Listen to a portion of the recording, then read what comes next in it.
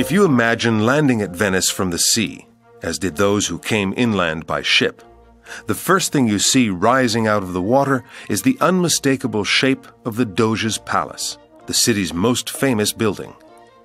The palace is the most representative symbol of Venice's culture, which, together with the Basilica of San Marco at the back and the Piazza San Marco in the forefront, forms one of the most famous sceneries in the world. For centuries, the Doge's palace had three fundamental roles as the Doge's residence, the seat of government, and as the palace of justice. This was where some of the most important decisions for Venice's and even Europe's destiny were made. Initially, when it was built in the 9th century AD, it was more like a castle than a palace, with four sighting towers and high defensive walls. In fact, it was in a strategic position to control the city, near its sea access. Later, due to a series of fires and subsequent rebuilding, it became what we can see today a splendid example of Venetian Gothic architecture. This imposing building has the one feature typical of Venetian architecture lightness. Despite its considerable size, the multicolored facade decorations and the splendid perforation of the Gothic loggias, like stone lace, give us an elegant structure that isn't heavy in appearance. There's also a real architectural find compared to most medieval palaces all over Italy. The Doge's palace was built in the opposite way, with the loggias down below and full walls above, whereas buildings like this normally had a huge base to make them easier to defend. In Venice, the state palace had to be an expression of the republic's special relationship with its citizens, one of trust and absolute loyalty. Venetians considered their government legitimate not by imposition or divine right, like in other Italian medieval cities, but as an expression of the Venetians' will. The portico is already a special place, a masterpiece within an even bigger masterpiece. The 36 stone capitals on their arches are a marvelous example of medieval sculpture and give us a rich repertoire of symbolic figures, vice and virtue saints, martyrs, knights, trades, birds, and signs of the zodiac. From these arches, the Doge watched public executions in the square, and under the ninth arch, the one that stands out for the red of its marble, death sentences were announced. The palace entrance was through the monumental charter door, at the top, in the main sculpture, you see the ever present symbol of Venice, the winged lion, with the Doge kneeling in front of it. This palace was a highly functional building, and each element had a precise purpose. Starting with the giant staircase in the courtyard, so called because of two huge statues of Mars and Neptune at the top, symbolizing the Republic's authority over land and sea, is the work of Sansovino, it was here that the Doge's crowning took place, celebrated with great pomp. Climbing to the top, the Doge received the Doge's horn and pronounced the promissione, the promise, to defend and respect the Serenissima's constitution forever. The Doge's apartment only occupies one of the palace's three floors, and to get to it, you climb the beautiful golden stairway, begun halfway through the 16th century by Sansovino. The stairway owes its name to the spectacular golden stucco decorated vault and was formerly only used by magistrates and important people. Today, this apartment has no furnishings, as they were partly stolen by Napoleon's army, but it is still a kind of precious casket with masterpieces painted on its ceilings and magnificent stone fireplaces. It gives us an idea of the Doge's lifestyle and of the atmosphere that reigned in these rooms for centuries. On the second noble floor, you find the meeting rooms used by the highest state authorities. But how was the Venetian Republic organized? At a time when the feudal model dominated in Europe and most of the population lived in extreme poverty, in Venice, an enterprising community of merchants, craftsmen, and bankers had created a surprisingly modern, advanced republic. The government structure was a pyramid with the People's Assembly at its base and the Doge at the top. These rooms hold some of the most important Venetian art masterpieces. The council hall held anything that could amaze people on entering, such as works by Veronese, Campagna, and Tintoretto, But we mustn't think that these works were just for the rooms where they could be seen by foreigners. We find the same pomp in the private chambers, those used by government bodies, for example, in the Senate Hall. Here, they made foreign policy decisions, such as appointing new ambassadors. However, it is in the famous Higher Council Hall, where up to 2,000 members of the aristocracy met, that the Republic showed all of its magnificence.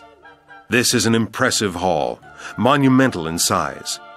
Here, all the Republic's power and glory was on show, not only because of its incredible size, but also for the inestimable value of its wall and ceiling decorations.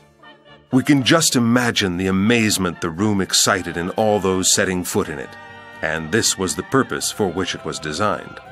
Rebuilt after the terrible 1577 fire, as a result of which the Doge Sebastiano Venier died of heartbreak, this hall was literally covered in sumptuous decoration. Veronese contributed with a splendid deification of Venice, and on the ceiling, there are works by Bassano, Palma the Younger, but mainly Tintoretto, author of the immense Paradise. It is the largest oil painting in the world, a work started when Tintoretto was older and then finished by his son Domenico. It is a work in which you see the artist's typical mystic light. On three sides of the hall, just under the ceiling's gilt decorations, there are the 76 portraits of the Doges, from the 9th, Obelerio, to the 81st, Francesco Venier, work of Tintoretto. They sum up the history of Venice, including the tale of Marin Faliero, the Doge accused of high treason, whose portrait is covered by a black cloth. The Doge's palace was also where justice was administered, and where the city's terrible prisons were to be found. It wasn't that difficult to end up in jail in Venice. At times, a single anonymous accusation was enough to be arrested, slipped into the mouth for secret accusations still visible in the Hall of the Compass. The last degree of justice was exercised by the most feared tribunal, the Council of Ten. This commission had exceptional powers and met in absolute secrecy in what is known as the Hall of the Council of Ten. Here, during a trial, no one could enter, not even the accused. The trial took place by reading statements from both the defense and the accused, and decisions were made by a vote that had to be an 80% majority. Arrest could be very traumatic, at times sudden and unexpected. Once in the palace, you could end up either in the ground floor cells, the pozzi, which were more terrible and inhospitable, or up in the garret for the high ranking, the famous piombi, which owe its name to the lead sheeting covering the roofs. Alternatively, prisoners were taken to the new prisons over the famous Bridge of Sighs, named after the sighs of the prisoners barely dragging themselves through the corridor. Once you were in there, life certainly was not easy. The cells were small and damp, cold in winter and hot in summer. Once inside, the prisoner had to share the little space available with dozens of other prisoners, reduced to misery by the bullying of the guards and the poor sanitary conditions. The palace prisons were famous for being difficult to escape. However, someone did manage to demonstrate the contrary. As the day dawned on July 26, 1755, as the third bell rang, Messer Grande entered and told me he had to put me up in the Piombi. These are the words of Giacomo Casanova, romantic hero and famous adventurer, whose exploits were talked about all over the world, and whose fame is inextricably linked to his legendary escape from the Venice Piombi. Casanova was a man with special gifts, a legendary seducer, but also amateur scholar, actor, and for a short period, even abbot. When they put him in the Piombi, he was 29 and had already traveled the world but it was only after his escape that his destiny turned to fame and riches. His memoirs, entitled The Story of My Escape from the Piombi, were printed in 1788 and soon became the equivalent of a modern bestseller. Casanova left the Piombi on the night between 31st of October and November 1st, 1756. Digging up the wooden planks with a makeshift tool, he climbed out of his cell onto the roof and then down into an attic.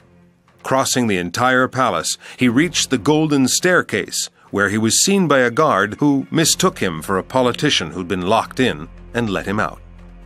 A legend says that he stopped for a coffee in San Marco Square before fleeing by sea on a gondola.